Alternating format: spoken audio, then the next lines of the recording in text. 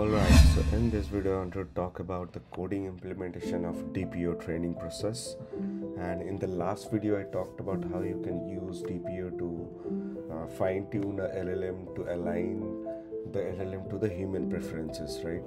So in this video it is mainly about the coding implementation part uh, where we will try to fine tune a Mistral 7b model using the DPO algorithm.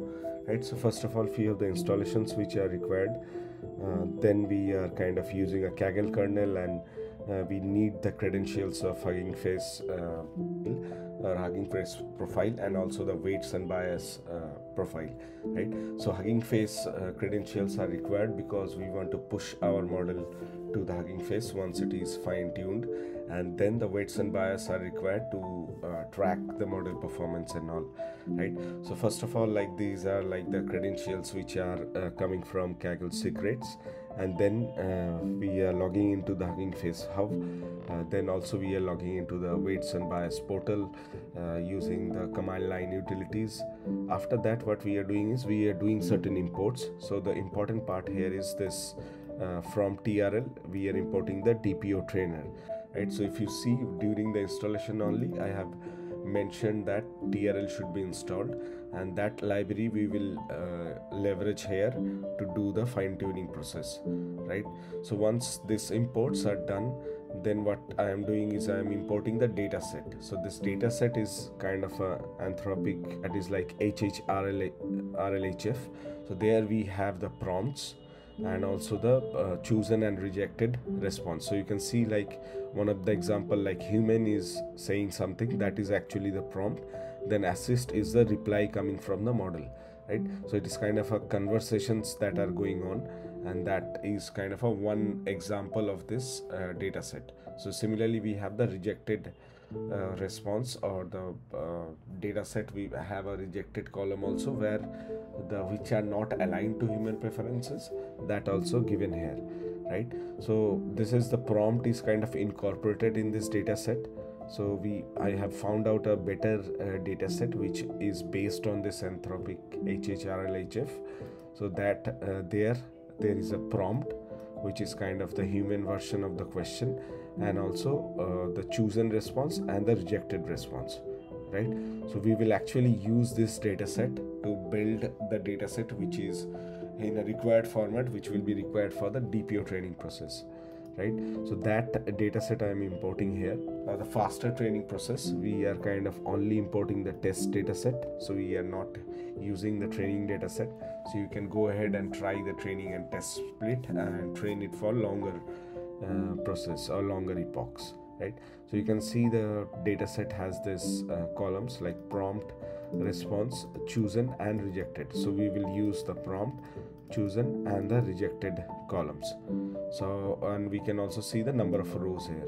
So after that a simple function to prepare the data set which will be uh, which is uh, the required format for dpo training process where we have the prompt and uh, the chosen and the rejected uh, response right?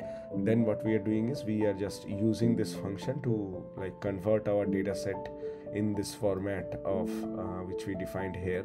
And we are also removing the original columns that are present in the data set. So this is the training data set which we have prepared and where we have this three columns now right? So after that we are uh, using this uh, the mistral 7b gptq version from TheBloke. We are importing the tokenizer and we are also setting the end of sentence token as a pad token right? So after that what we are doing is we are importing the sft model models right? So this is kind of the instruction fine tune model and that model we will fine tune using the dpo process right? So we need to have two uh, models. One is like the model which we will uh, train or the fine tune so that that we are calling as model.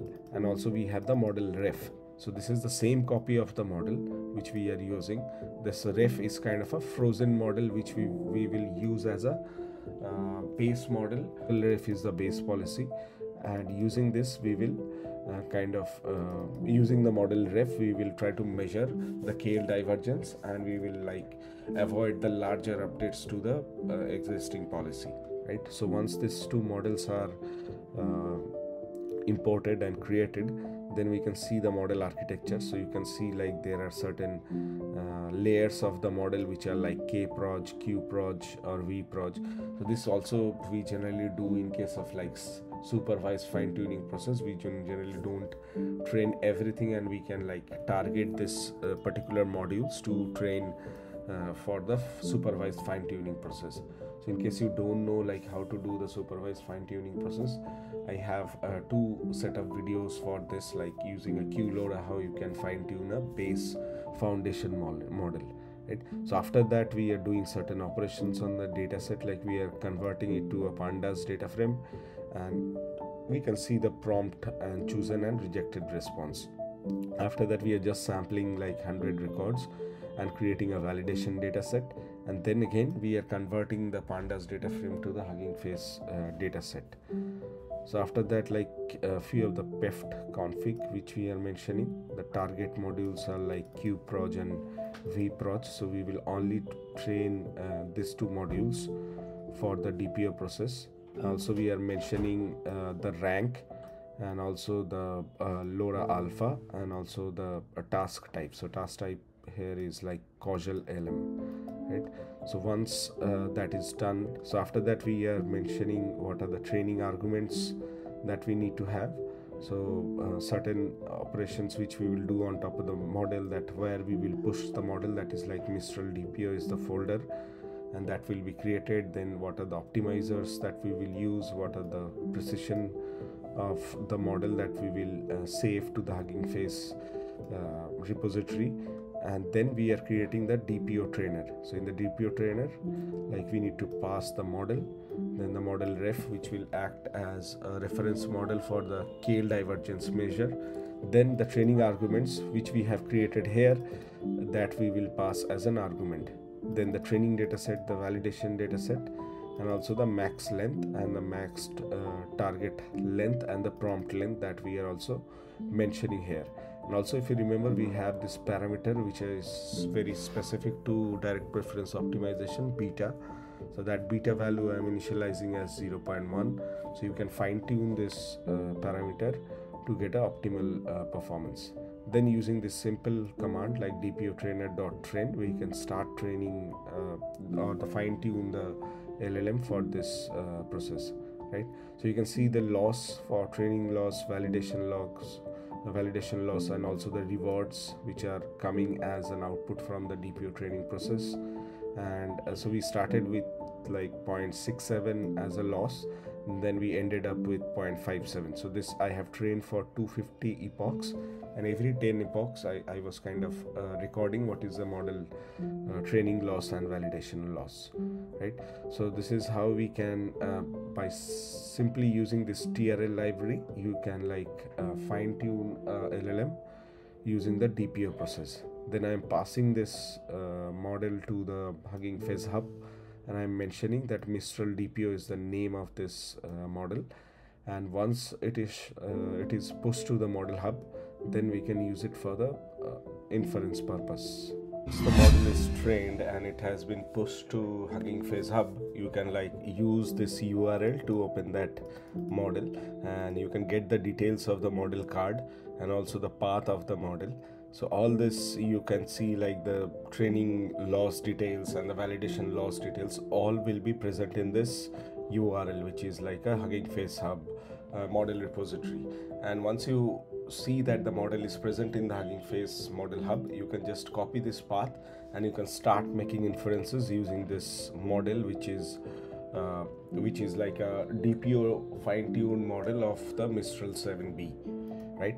So once that is trained so you can like uh, go for inference phase right? So first of all like uh, so i am using a different notebook so i need to again redo the installation. So if you wanted to continue in the same notebook you can like skip the reinstallation process and all right? So once that is done you can mention the model path here and all these details I have mentioned in the uh, starting of this notebook. So I will also mention the GitHub URL uh, for these two notebooks. So one repository which I have created for this two notebook that I will also uh, give as a link in the description of this video. So you can just uh, go and go ahead and, and play around with that code. so once the model path is defined so after that the model will be loaded at first and also the tokenizer so the tokenizer will be instantiated at first with the model path and also we will load the model from this AutoPEFT model for causal LLM uh, which comes from the transformer package. And uh, then we kind of load the pre-trained model which we have trained right? So after after that i have also uh, written some code which will define the generation config right? So do sample equals to true what is the top k value what is the temperature that we want to use uh, the max new token that will be present and also the padding token that we will be using while generating the content right? So once this process are done then what we will do is we can like start with a question where my phone uh, which is not turning on right? So this is my question which i am passing as a prompt to the model right? So at first what we need to do is we need to pass this prompt to the tokenizer which will convert this sentence to tokens and that will be captured here. So in between i am also mentioning return tensor equals to pt so it will be a pytorch tensor. And also we are moving the uh, tensor to the cuda uh, device right? So after that we can start generating the answer for this question right? So which is like i'm passing the inputs then the generation config and we get the output. So this output will be again the tokens and that token needs to be converted to the english words right? So that i am doing here tokenizer.decode so that i am uh, using to convert the tokens to the uh, english words. So this is the output which you can see which is more or less like aligned to the human feedback which we are trying to do using dpo optimization or the dpo fine tuning process and uh, and you can like go ahead and and play around with the different prompts and see how the model is performing so this is just an example how you can use a SFT model and then use a DPO fine tuning process to uh, get a fine tuned model and then start making the inferences, right? So I have just uh, trained the model on 250 epochs. So you can go ahead and train it for a larger number of epochs and see how the training and validation loss is. And with that, you can like uh, create your own uh, direct preference optimization model based on uh, human preference. You now got an overview of whole LLM training process with the with this series of videos which I have published. Okay, so I hope you like this one. If you haven't subscribed this channel, please subscribe. It takes a lot of effort to create such videos. So I need your support. Please uh, like this video and also share with your friends. And if you have any questions, please uh, mention in the comment section. Thank you. See you in the next video.